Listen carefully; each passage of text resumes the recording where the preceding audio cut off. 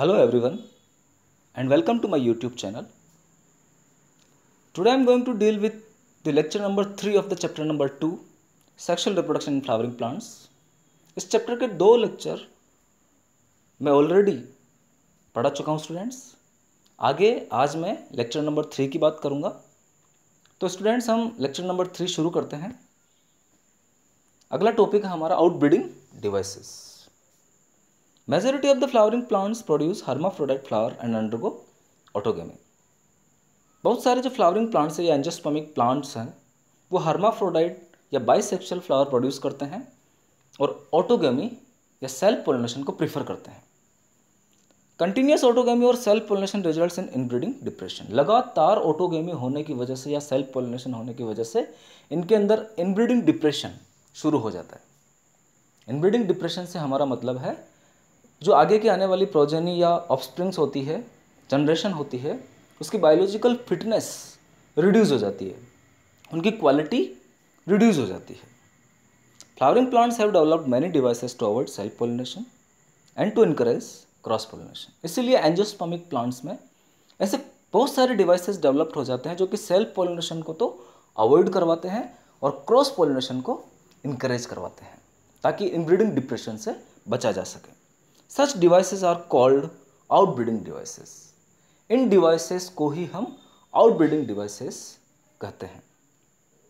जैसे कि pollen release and stigma receptivity is not synchronized pollen के रिलीज़ होने का समय या टाइम और स्टिग्मा के रिसेप्टिविटी का टाइम दोनों अलग अलग हो जाते हैं और अलग अलग अलग होने की वजह से सेल्फ पोलिनेशन नहीं हो पाता है। Special separation of anthers and stigmas anther और स्टिग्मास का स्पेशल सेपरेशन हो जाता है। इन दोनों के बीच में बहुत ज़्यादा स्पेस पैदा हो जाता है, जिसकी वजह से सेल्फ पॉलिनेशन नहीं हो पाता है। Anther and stigma are placed at different positions. इनकी पोजिशंस भिन्न भिन्न हो जाती है, डिफरेंट हो जाती है। उसकी वजह से भी सेल्फ पोलिनेशन नहीं हो पाता है। Self incompatibility. पोलन का फर्टिलाइजेशन नहीं कर पा रहा। जब पोलन अपने खुद के फ्लावर को ही फर्टिलाइज नहीं कर पा रहा है तो इसे हम सेल्फ इनकम्पेटेबिलिटी बोलेंगे। और ये भी सेल्फ पोलिनेशन को अवॉइड करवाएगी। Production of unisexual flowers unisexual flower का बनना भी सेल्फ पोलिनेशन को नहीं होने देगा। तो ये सारे के सारे जो डिवाइसेज है स्टूडेंट्स ये आउटब्रीडिंग डिवाइसेज है जो कि क्रॉस पोलिनेशन को बढ़ाएँगे। तो आप बहुत अच्छे तरीके से इनको लर्न करेंगे स्टूडेंट्स आगे हम बात करते हैं पोलन पिस्टल इंट्रेक्शन की। अब ये पोलन और पिस्टल का इंट्रेक्शन क्या होता है, ये हम देखते हैं स्टूडेंट्स तो जितने भी इवेंट्स है पोलन के स्टिग्मा पर डिपोजिशन से लेकर पोलन ट्यूब के ओव्यूल में एंटर करने तक की वो सारे के सारे इवेंट्स पोलन पिस्टल इंट्रेक्शन के नाम से जानी जाती है। Pollination does not guarantee the transfer of the right type of pollen grain to the right type of stigma जब पोलिनेशन होता है तो ये गारंटी नहीं होती है कि स्टिग्मा के ऊपर राइट टाइप के पोलन ग्रेन ही गए हैं। The pistil has the ability to recognise the pollen whether it is compatible और इनकम्पेटिबल केवल पिस्टल के पास ही वो एबिलिटी होती है कि वो इस पोलन ग्रेन को पहचान सकती है कि ये जो पोलन ग्रेन है, वो कंपेटिबल है या इनकम्पेटिबल है। फर्टिलाइजेशन करवा सकता है या नहीं करवा सकता है। If it is right type of the stigma allow the pollen to germinate अगर जो पोलन ग्रेन है, वो राइट टाइप के स्टिग्मा पे गया है तो वो जर्मिनेट होकर पोलन ट्यूब बना देगा। और यदि वो रॉन्ग टाइप के स्टिग्मा पर गया है तो स्टिग्मा उसे रिजेक्ट कर देगी और जर्मिनेशन नहीं होगा। पोलन ट्यूब का निर्माण वहाँ पर नहीं पाया जाएगा। पोलन ट्यूब का फॉर्मेशन वहाँ पर नहीं होगा। The ability of the pistil to recognize the pollen by continuous dialogue mediated by chemical pistil की पोलन ग्रेन को पहचानने की जो एबिलिटी है, वो सर्टेन केमिकल्स के ऊपर निर्भर करती है डिपेंड करती है। इन केमिकल्स के द्वारा ही पिस्टल जो है राइट टाइप के पोलन ग्रेन को आइडेंटिफाई करता है। इन केमिकल्स में हम बात करेंगे boron inositol and sucrose level की। तो ये सारे के सारे केमिकल्स पिस्टल को राइट टाइप के पोलन ग्रेन को आइडेंटिफाई करवाने में मदद करते हैं। तो आप लर्न करेंगे students following compatible pollination the pollen grain produce pollen tube through one of the germ pore यदि पोलन ग्रेन कंपेटेबल होते हैं तो पोलन ग्रेन के द्वारा पोलन ट्यूब का फॉर्मेशन हो जाता है और ये पोलन ट्यूब जो है वो पोलन ग्रैंड के ऊपर पाए जाने वाले जम पोर से बाहर निकलती है। जैसा कि हम प्रीवियसली भी पढ़ चुके हैं। Content of the pollen grain move into the pollen tube और जो पोलन ग्रैंड के कंटेंट है, वो पोलन ट्यूब के अंदर मूव कर जाते हैं। Pollen tubes grow through the tissues of the stigma and style and reaches the ovary और पोलन ट्यूब जो है, वो ग्रोज करती है स्टिग्मा और स्टाइल के टिश्यूज के द्वारा और ओवरी तक पहुँच जाती है। If the pollen grain is in two celled stage the generative cell divides and forms two male gametes inside the pollen tube यदि पोलन ग्रेन जो है वो दो सेल स्टेज में है, टू सेल स्टेज में है तो जनरेटिव सेल डिवाइड होकर दो मेल गैमेट्स का फॉर्मेशन करती है पोलन ट्यूब के अंदर। और यदि पोलन ग्रेन जो है वो थ्री सेल स्टेज में है तो बिगनिंग से ही, शुरुआत से ही पोलन ट्यूब के अंदर दो मेल गैमेट्स पाए जाते हैं। Pollen tube enters into the ovule through micropyle. Pollen tube जो है वो ओव्यूल में एंटर कर जाती है माइक्रोपाइल के द्वारा, इसे हम पोरोगेमी भी बोलते हैं, देन इनटू द एम्ब्रियोसेक, और उसके बाद ही एम्ब्रियोसेक में चली जाती है थ्रू सिनर्जिट्स सिनर्जिट्स के द्वारा गाइडेड बाय फिलीफॉर्म एपरेटस जैसा कि हम पहले भी पढ़ चुके हैं कि इनको गाइडेंस देने का काम फिलीफॉर्म एपरेटस का होता है। Finger like projections which are present on to the synergid cells ये आपका डायग्राम है pollen germination and entry of pollen tube through micropylar region तो आप इस डायग्राम की प्रैक्टिस करेंगे स्टूडेंट्स सारी लेबलिंग आप बहुत अच्छे से देखेंगे। आगे हम आर्टिफिशियल हाइब्रिडाइजेशन की बात करते हैं students one of the major approaches of crop improvement programme जो आर्टिफिशियल हाइब्रिडाइजेशन है, वो क्रॉप इम्प्रूवमेंट प्रोग्राम की एक मेजर अप्रोच है. आज की तारीख में only desired pollen grain use for pollination इस अप्रोच में हम केवल डिजायर्ड पोलन ग्रेन को ही पोलिनेशन में यूज़ करेंगे. Stigma is protected from contamination stigma को प्रोटेक्ट किया जाएगा. अनवांटेड पोलन ग्रेन से कंटामिनेट होने से. Removal of anthers from the flower bud before the anther dehisces is called emasculation. Anther को फ्लावर बर्ड से रिमूव करना एंथर के डिहाइसिस होने से पहले, इसे हम एमस्कुलेशन बोलते हैं emasculated flowers covered by bag उसके बाद जो एमस्कुलेटेड फ्लावर है, उसको बैग से कवर कर लिया जाता है और ये जो बैग है, वो बटर पेपर से बना हुआ होता है बटर पेपर से बने हुए बैग से हम इसलिए कवर करते हैं ताकि जो अनवांटेड पोलन ग्रेन्स है, वो उस को कंटामिनेट नहीं कर पाए। This step is called bagging और इस स्टेप को हम बैगिंग बोलते हैं। If the female flower is unisexual अगर फीमेल फ्लावर यूनिसेक्शुअल है there is no need of emasculation तो एमेस्कुलेशन की यहाँ पर कोई ज़रूरत नहीं होती है।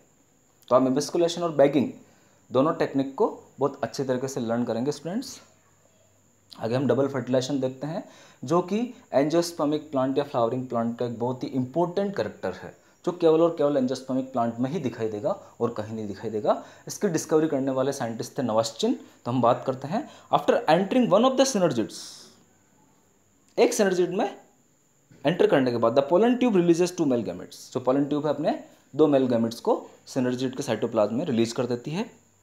Syngamy one of the male gamete fuse with egg cell synergid के पास जो एक्सेल होती है, उसके साथ एक मेल गैमेट फ्यूज हो जाता है। और डिप्लोइड जाइगोट का फॉर्मेशन होता है। इसे हम सिंगमी बोलते हैं। Two polar nuclei central cell fuse to form a diploid secondary nucleus हमने देखा है सेंट्रल में। सेंटर में जो सेंट्रल सेल है, वहाँ पर दो पोलर न्यूक्लियर है, वो आपस में फ्यूज हो जाते हैं और डिप्लोइड सेकेंडरी न्यूक्लियस का फॉर्मेशन करते हैं। और उसके बाद, इस डिप्लोइड सेकेंडरी न्यूक्लियस से जो बचा हुआ सेकेंड मेल गेमिट है, वो फ्यूज हो जाता है और हमारे पास एक ट्राइप्लॉइड प्राइमरी एंडोस्पम न्यूक्लियस आ जाता है या बन जाता है, जिसे हम ट्रिपल फ्यूजन कहते हैं। तो two types of fusion, syngamy and triple fusion take place in embryo sac, the phenomenon is termed as double. तो हमने देखा कि यहाँ पर दो प्रकार का फ्यूजन हो रहा है। एक तो सिंगेमी हुई है एक ट्रिपल फ्यूजन हुआ है। इसीलिए हम इस पूरी फिनोमिन को डबल फर्टिलाइजेशन कह सकते हैं। The central cell after triple fusion becomes primary endosperm cell जो सेंट्रल सेल है ट्रिपल फ्यूजन के बाद वो प्राइमरी एंडोस्पम सेल में डेवलप कन्वर्ट हो जाती है and develop into the endosperm और आगे इसका डेवलपमेंट एंडोस्पम में हो जाता है। The zygote develop into an embryo. और जो जाइगोड जो है, वो एम्ब्रियो बनाता है। ये आपका डायग्रामेटिक रिप्रेजेंटेशन है, फर्टिलाइज्ड एम्ब्रियो सेक।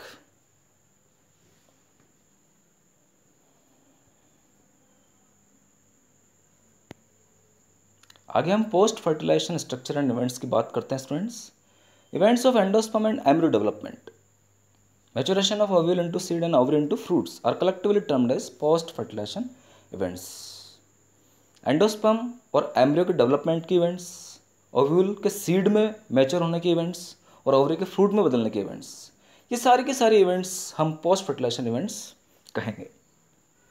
एंडोस्पम की बात करते हैं students development of endosperm takes place before the embryo development endosperm का जो डेवलपमेंट है, वो एम्ब्रियो के डेवलपमेंट से पहले होता है. Primary endosperm cell divides repeatedly to form a triploid endosperm जो प्राइमरी एंडोस्पम सेल होती है, वो बार बार सेल डिवीज़न करती है और ट्राइप्लोइड एंडोस्पम का फॉर्मेशन करती है। Cells are filled with reserve food material और इसके सेल्स जो है वो रिज़र्व फ़ूड मटेरियल से भरी हुई होती है फिल्ड होती है and are use for the nutrition of the developing embryo और ये reserve food material developing embryo को नोरिशमेंट देने का काम करता है। Primary endosperm nucleus undergo successive nuclear division to give rise to free nuclei this is called free nuclear endosperm जो primary endosperm nucleus है, वो सक्सेसिव न्यूक्लियर डिवीज़न में जाता है और फ्री न्यूक्लियर का फॉर्मेशन करता है। इसे हम फ्री न्यूक्लियर एंडोस्पम कहेंगे। Subsequently cell wall formation takes place उसके बाद सेलवाल का फॉर्मेशन होता है और जो एंडोस्पम है, वो सेलुलर हो जाता है।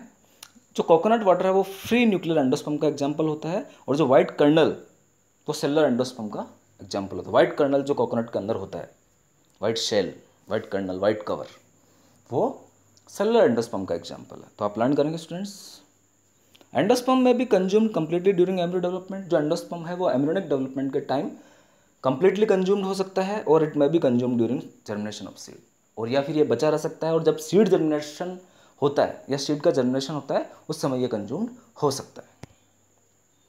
एम्ब्रियो की हम बात करते हैं। Zygote formed and placed at the micropylar end of the embryo sac zygote बनता है और प्लेस्ड हो जाता है ये माइक्रोपाइलर एंड की तरफ़ एम्ब्रियोसिक में। Zygote start development only after some amount of endosperm formed zygote जो है इसका डेवलपमेंट तभी चालू करता है जब एंडोस्पम की कुछ अमाउंट फॉर्म्ड हो जाती है।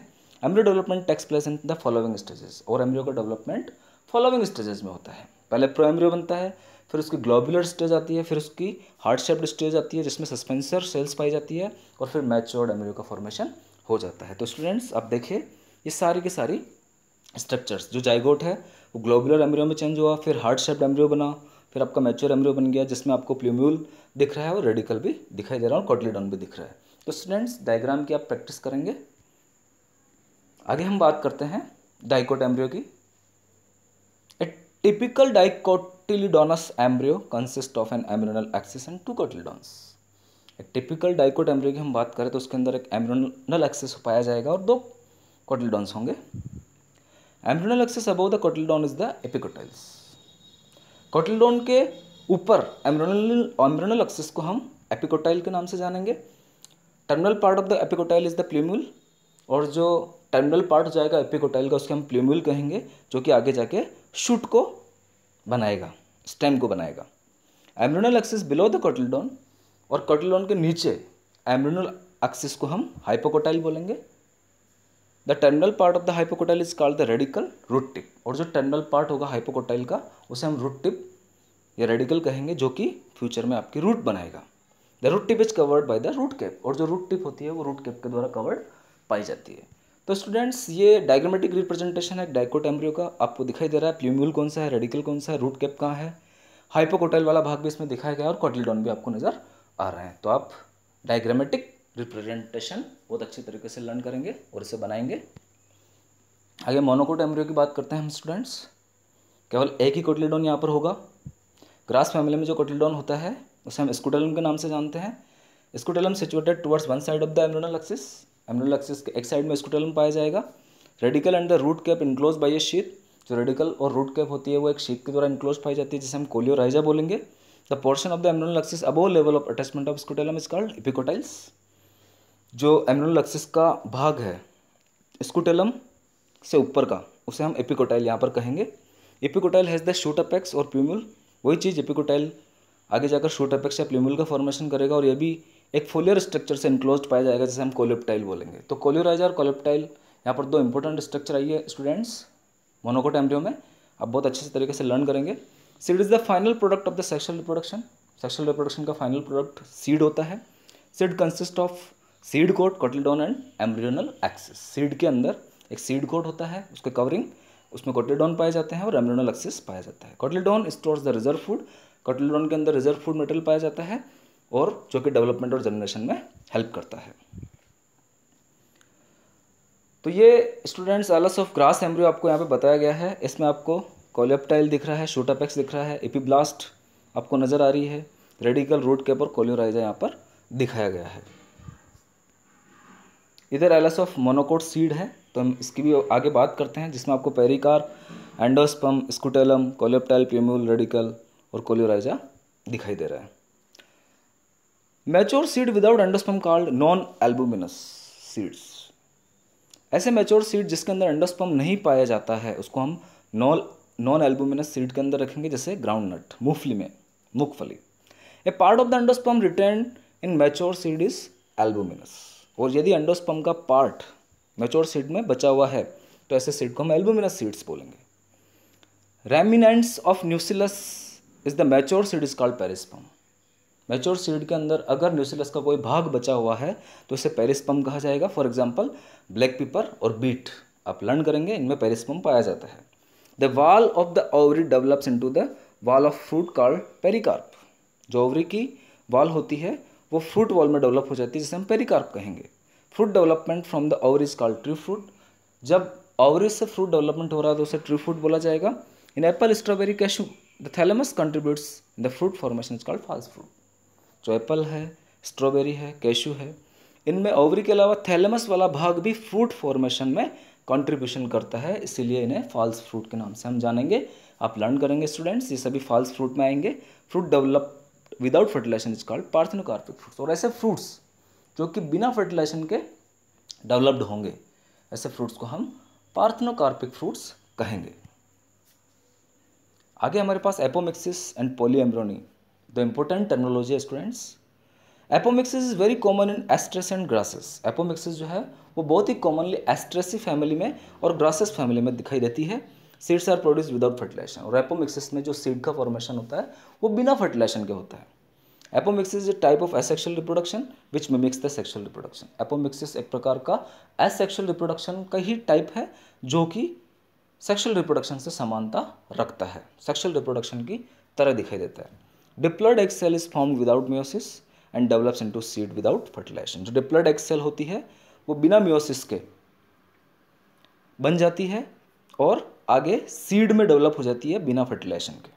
तो आप लर्न करेंगे students in citrus and mango the nucell nucellar cells starts dividing citrus और मैंगो में जो न्यूसिलस सेल्स है, वो डिवाइड करना चालू कर देती है, शुरू कर देती है protrude into the embryo sac और एम्ब्रियोसेक में प्रोटूड होती है एंड डेवलप इनटू एम्ब्रियो और एम्ब्रियो बना लेती है।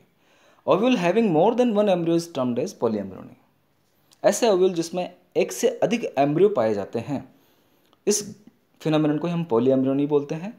Hybrid plants are developed by apomixis to maintain the genetic identity apomixis की जो इंपॉर्टेंस है वो हाइब्रिड प्लांट बनाने में है, ताकि जेनेटिक आइडेंटिटी को मेंटेन किया जा सके।